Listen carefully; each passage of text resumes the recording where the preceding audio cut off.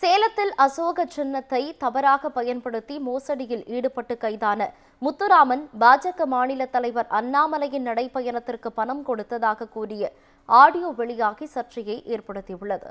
சேலத்தில் சில நாட்களுக்கு முன்பு ஒன்றிய அரசின் கடன் பெற்று தருவதாக கூறி எம்எஸ்எம்இ கவுன்சில் என்ற அமைப்பின் சார்பில் ஆலோசனை கூட்டம் நடத்தப்பட்டது. இதில் அந்த அமைப்பின் தேசிய தலைவர் முத்துராமன் செயலாளரான பஞ்சாபை சேர்ந்த துஷ்யந்த் யாதவ் தமிழ்நாடு பிரிவு தலைவரான பாஜக பிரமுகரும் நடிகையுமான நமிதாவின் கணவர் சௌத்ரி ஆகியோர் கலந்து கொண்டனர். இதில் நமிதாவும் பங்கேற்ற நிலையில் அசோக சின்னத்தையும் தேசிய கொடியையும் தவறாக பயன்படுத்தி மோசடியில் ஈடுபடுவதாக புகார் எழுந்தது. மேலும் எம்எஸ்எம்இ அமைப்பின் மாநில தலைவராக பொறுப்பு கொடுப்பதாக கூறி பண மோசடி செய்ததாக கோபால்சாமி என்பவர் காவல் நிலையத்தில் புகார் அளித்தார். இதையடுத்து மோசடியில் ஈடுபட்ட முத்துராமன் துஷ்யந்த் யாதவ் ஆகியோர் கைது செய்யப்பட்டு சிறையில் அடைக்கப்பட்டனர்.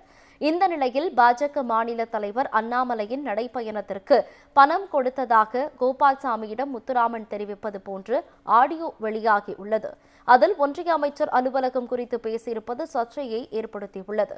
இதனிடையே சிறையில் உள்ள முத்துராமன் துஷ்யந்த் யாதவ் இருவரும் மகாராஷ்டிர மாநில ஆளுநர் மாளிகையில் அமர்ந்து பேசிக் கொண்டிருப்பது போன்ற புகைப்படமும் வெளியாகி பரபரப்பை ஏற்படுத்தியுள்ளது. இப்ப ஒரு அண்ணாமலை வந்தார் இல்லையா? ஆமாண்ணா. அதுல வந்து சிவகங்கைக்கு ஒரு ஒன்றரை கொடுத்து விட்டேன். ஓ சரிண்ணா. இப்ப மதுரைக்கு வந்துட்டாரு. சரிண்ணா. அதனால அங்க ஒரு எழுபத்தஞ்சு ஒண்ணு பரட்டி கொடுத்துருக்கேன்ட்டாங்க நான் ஐம்பது ரூபா தந்துறேன் சார். அதுக்கு நம்ம கொடுத்துருக்கேன்னு சொன்னேன். இருக்கிறத கொடுத்து விட்டுருங்கன்ட்டாங்க. அதுக்காகத்தான் ஓடித்துறேன் வேற ஒண்ணும் புரியலண்ணா இந்த அளவு நீங்க பேசுற போது இந்த இவங்கள தான் நான் சால்வ் பண்ணலைன்னு வச்சுக்கணேன் அண்ணா. மேல இருந்து சொன்னது நான் சால்வ் பண்ணலைன்னு வச்சுக்க. நம்ம ஒரு மாதிரி ஆகி போவோம்.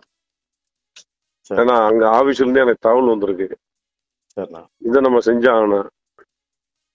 இப்ப அந்த இதை வந்து நம்ம அவர்கிட்ட நீங்க ஓகே வாங்கிட்டீங்கன்னா. நம்ம எவனோ ஒரு கம்பெனிக்காரனை பிடிச்சி இந்த மாதிரி டிடிஓ கொடுத்துறோம் அந்த மாதிரி செஞ்சு தரணும் அந்த மாதிரி நம்மளே நம்ம ரெண்டு பேருமே போய் பேசிட்டு வந்துடலாம். இல்ல இல்ல ஒரு சில விஷயங்களை சொல்ல முடியும் ஒரு சில விஷயங்களை சொல்ல முடியல. ஏன்னா அவ்வளவு செலவுகள் போய்கிட்டு வந்துகிட்டு இருக்குது. உண்மையிலே இன்னைக்கு காசு இல்லாம ஒரு விசேஷ வீட்டுல போய் இருக்கிறத பிறகிட்டு வந்தேன். ரொம்ப கேவலமான சூழ்நிலையா இருக்கு. சரி ரைட் நடக்குது நடக்கட்டும் பார்ப்போம் சரி. முத இவங்க பிரச்சனை தான் நீங்க முடிச்சு விட்டுறேன். சரி ஓகே. நான் அவங்க கொடுக்க சொல்லிட்டாங்க. சரிண்ணா. கொடுத்துட்டோம். நீ அடுத்து என்ன சொல்றாங்கன்னு தெரியல. பாத்துக்கிடுவோம்.